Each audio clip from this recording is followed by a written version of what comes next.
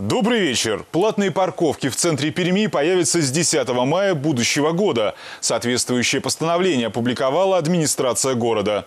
О границах тарифной зоны можно узнать на нашем сайте vetta.tv. В студии «Вечернего вестника» Дмитрий Кутявин. И вот о чем еще успеем рассказать сегодня. Время собирать камни. Разрушенный дом на Куйбышева 103 начали восстанавливать.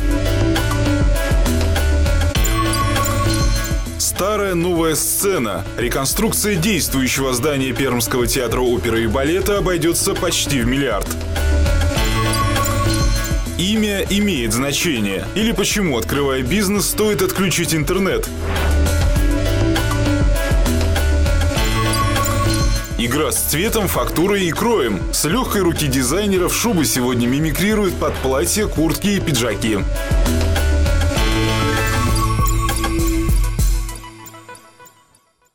Перми начали восстанавливать рухнувший подъезд пятиэтажки на Куйбышева 103.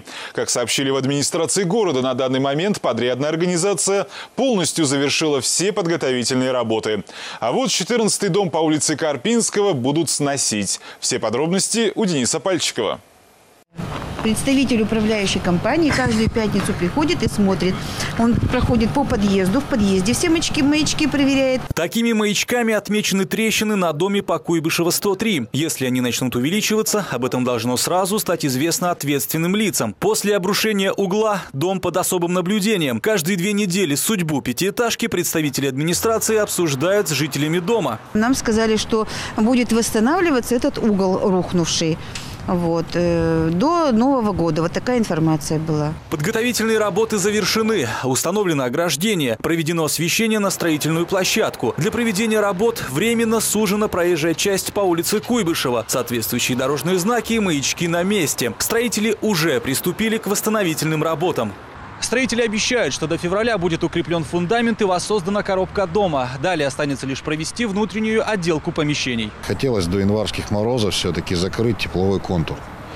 Дальше, безусловно, необходимо будет э, просушить коробку здания и уже приступить к отделочным работам. Также планируется подключить отопление в доме. Уже в июне здесь рассчитывают заняться работами по благоустройству. К лету, опять же, по планам, жильцы смогут вернуться в свои квартиры. А вот дом по Карпинского 14, взрыв в котором привел к обрушению части здания, восстанавливать не станут. Более того, дом снесут до Нового года. Фактически э, уже установлено окончательно э, собственник э, комнаты в квартире номер 3 а мы определились со стоимостью, с выкупной стоимостью, э, которая сделала управление жилищных отношений. Эта стоимость собственника устроила и э, подписывается досудебное соглашение. После сноса здания на его месте появится новая многоэтажка с офисными помещениями. Сроки строительства пока уточняются. Денис Пальчиков, Андрей Соловьев, телекомпания «Ветта». Депутаты Краевого парламента утвердили сегодня законопроект, отменяющий региональную льготу на прибыль организации. Ставка сборов каждый год будет расти на полтора процента. Среднероссийского показателя 18% она достигнет к 2018 году. Инвесторов такие новости вряд ли привлекут. Придется искать другие пряники. Между первым и вторым чтением законопроекта о регулировании ставки по налогу на прибыль депутаты законодательного собрания рассмотрели 101 поправку к нему. В итоге документ принят. Ставка будет увеличиваться ежегодно. Впрочем, законодатели уточнили перечень условий, при которых компания может сохранить ее в размере 13,5%. Мы приняли закон во втором чтении, и лет пять мы больше к нему не должны возвращаться. Вот приняли, и уже у бизнеса есть как бы э, э, формула, да, и они должны примерять на себя и понимать, они заходят или не заходят, действуют или не действуют, инвестируют или не инвестируют, благотворительностью занимаются, спорт вкладывают или нет. Над совершенствованием другого законопроекта еще предстоит поработать. Инвесторов регион планирует привлекать заманчивыми арендными ставками на краевую и государственную землю. Один рубль за гектар на трехлетний период. Но только в том случае, если их проект признают значимым для края. Земельный ресурс ограничен. И, соответственно, если мы сможем выстроить такую систему, при которой этот земельный ресурс на будущее, на длительную перспективу будет приносить все увеличивающиеся платежи как в бюджет Пермского края, так и а, в карманы жителей Пермского края, которые будут работать на новых производствах, то это наиболее правильная стратегия. Это стратегия развития, а не проедания. Инициативу поддержали в первом чтении. Гораздо больше дискуссий вызвал законопроект о безнадзорных животных, который предусматривает передачу муниципалитетам ряда функций по отлову, транспортировке и передаче органам ветеринарной службы безнадзорных животных. У нас есть э, две точки зрения. И эти точки зрения уже превратились в два фронта. С одной стороны, это зоозащитники, которые действительно защищают права животных. Но с другой стороны, у нас э, мамочки с колясками, с детьми, и э, постоянное нападение животных, это оставлять без внимания сегодня уже невозможно. Я призывал всех э, своих коллег очень внимательно поработать во втором, в рабочей группе ко второму чтению, для того, чтобы действительно найти такое компромиссное, правильное решение. Правильным депутаты единогласно посчитали сократить собственные расходы. На обеспечение деятельности законодательного собрания в 16-18 годах потратят меньше почти на 11 миллионов рублей. Наталья Попова, Андрей Соловьев, Дмитрий Микрюков, телекомпания «Ветта». Бизнес – это всегда неизвестность. По статистике, 90% новорожденных компаний умирают в первый же год существования, а из оставшихся еще 80 терпят фиаско в следующие пять лет. Конечно, степень риска сильно отличается от стартовых и рыночных условий предпринимателей, но вероятность терпеть убытки, а то и вовсе обанкротиться, есть всегда. Так что просчитывать приходится все бизнес-шаги. Решив заняться бизнесом, Лидия Пещальникова не проявила ту степень заботливости и осмотрительности, которая требовалась от нее, гласит постановление Центробанка. Сама того не зная, Лидия чуть не приступила закон за то, что в названии своей компании она решила использовать слово «биржа». Оказывается, грозит штраф. Причем немалый, от 500 до 700 тысяч рублей. Лидия говорит, она была уверена в том, что если что-то не так, ей скажут об этом еще на этапе подачи документов для регистрации юридического юридического лица. Причем я была убеждена, что это так и есть.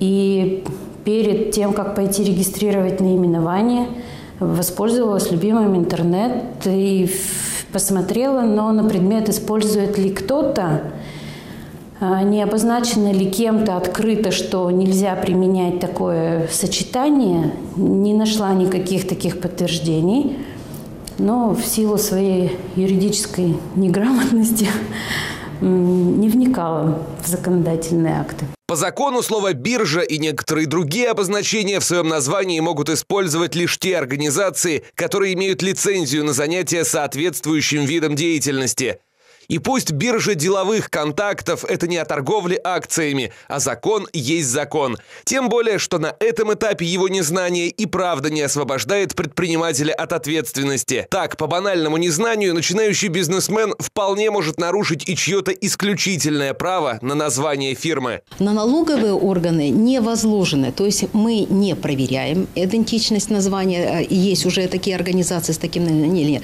И Э, если возникнет спор, то он будет решаться только уже в судебном порядке. В заявлении как раз есть такой пунктик, где предупреждается, что ответственность э, за э, информацию, которую, за все сведения, которые в заявлении указаны, несет заявитель торгово-промышленной палате Пермского края отмечают, число споров в сфере права на фирменные названия увеличилось. В условиях кризиса борьба всегда становится более острой и рекомендуют озаботиться получением исчерпывающей информации о нарушениях, которые могут возникнуть при регистрации юридического лица, ведь ошибиться проще простого. В соответствии с требованием Гражданского кодекса можно сказать, что приоритет, э, исключительное право на фирменное наименование принадлежит тому лицу, которое ранее зарегистрировано в налоговом органе. Да?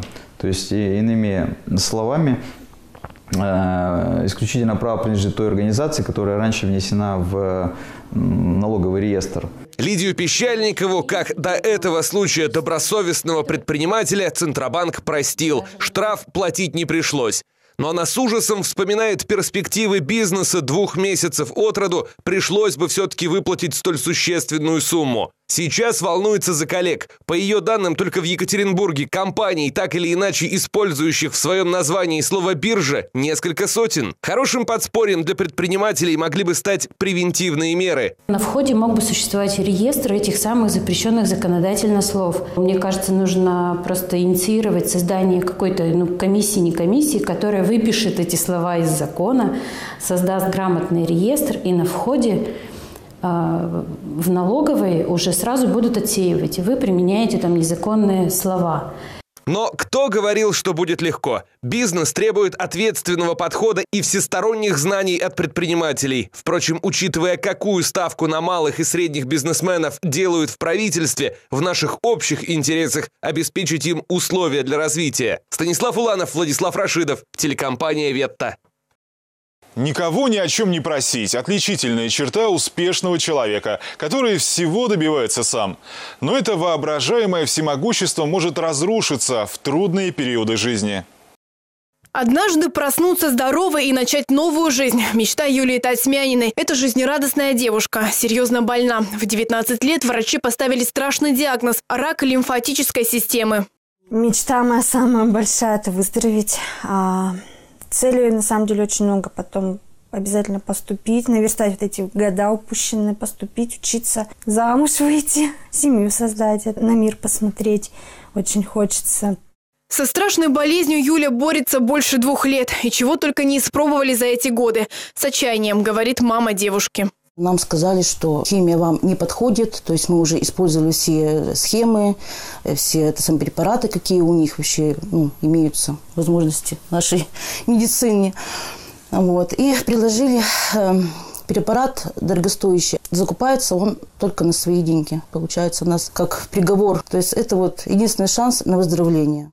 Заграничный препарат дает положительный результат практически в 90% случаев лечения рака лимфатической системы. Но на его покупку нужна немалая сумма – 2,5 миллиона рублей. Максим Аверин, заслуженный артист России, решил призвать всех пермяков помочь девушке не быть равнодушными.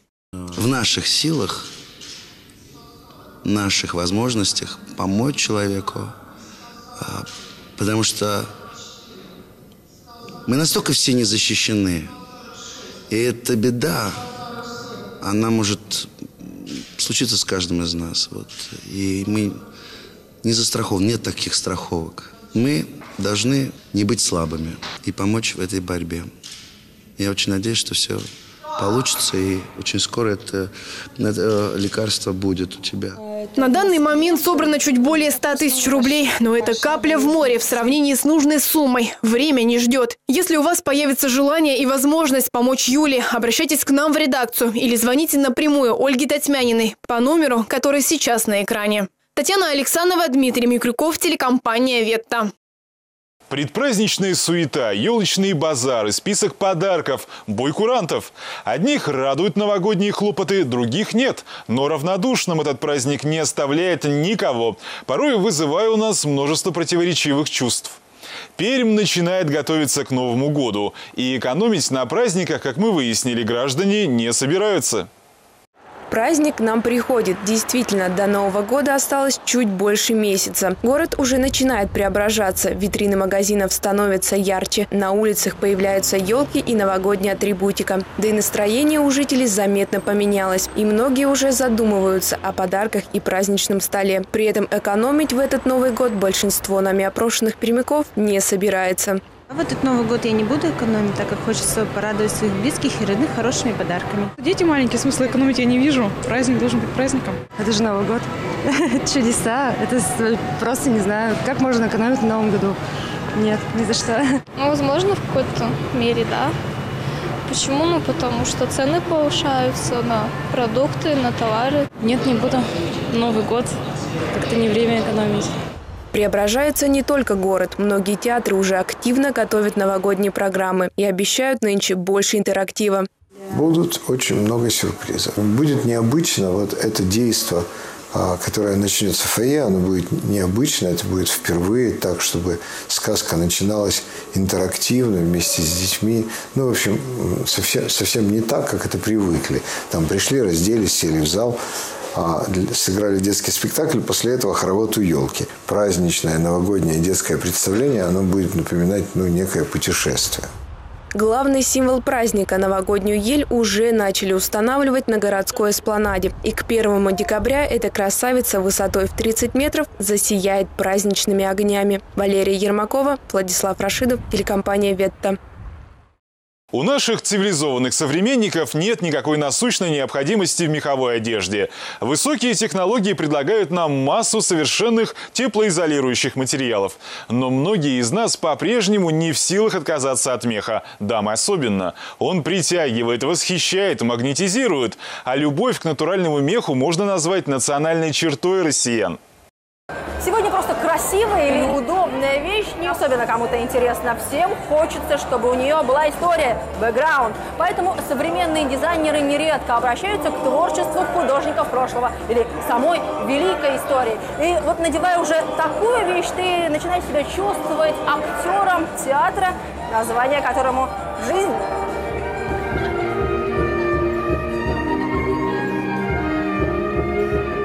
Театр. Об этом мы знаем еще от Шекспира. Английский классик недаром провел эту параллель, которой удачно пользуются все художники, включая дизайнеров. Мир моды – это, можно сказать, гипертрофированный театр. Здесь, как через увеличительное стекло, видно, какие процессы царят в мире, что владеет умами и сердцами людей. А владеет ими, если оглянуться вокруг, зима. А это значит, одеваться нужно теплее. И не только. Одеваться хочется со вкусом. Итальянский эксперт в мире меховой моды Маурицио Браски рассказывает о тенденциях в этой области. Классика, конечно, всегда остается нетленной, но замечу, что шуба больше не равнозначна самой себе. Дизайнеры откровенно творчески хулиганят. В мире, где все так серьезно и порой трагично, есть желание встряхнуть всех вокруг себя. Посмотрите, как шуба мигрирует под платья, куртки, жакеты, пиджаки. Какая идет игра и с цветом, с фактурой, кроем. Иная шуба стоимостью в приличный автомобиль откровенно сдабривается заклепками в стиле гранж или красится в невероятный цвет. И все это за тем, чтобы женщина смогла раскрепоститься, перестать себя чувствовать человеком в футляре, пусть и очень дорогом. Ведь внутренняя свобода – это одна из самых больших ценностей, которую дизайнеры транслируют через внешние проявления. К тому же сегодня в фаворе так называемые интеллектуальные вещи. В создании своей последней коллекции я опирался на творчество великого испанца Пикассо. Его подчеркнутая графичность, склонность к сюрреализму, любовь к русскому балету. Все это я попытался отразить в этих меховых вещах, каждая из которых и сама приближается к произведению искусства. Шуба сегодня не столько маркер статуса, сколько маркер интеллекта, ведь при помощи этой вещи вы создаете многослойный образ, который многое может рассказать о ваших увлечениях и ценностях, и которые смогут оценить те, чего внимания вам хотелось бы. Полина Рифа, Владислав Рашидов, телекомпания «Ветта». Оставайтесь, вечер обещает быть добрым и интересным. Сразу после «Вестника» игровое шоу «Цена вопроса» и новая серия Склифосовского. Встретимся в 21.00 здесь же, на Ветте. Буду ждать.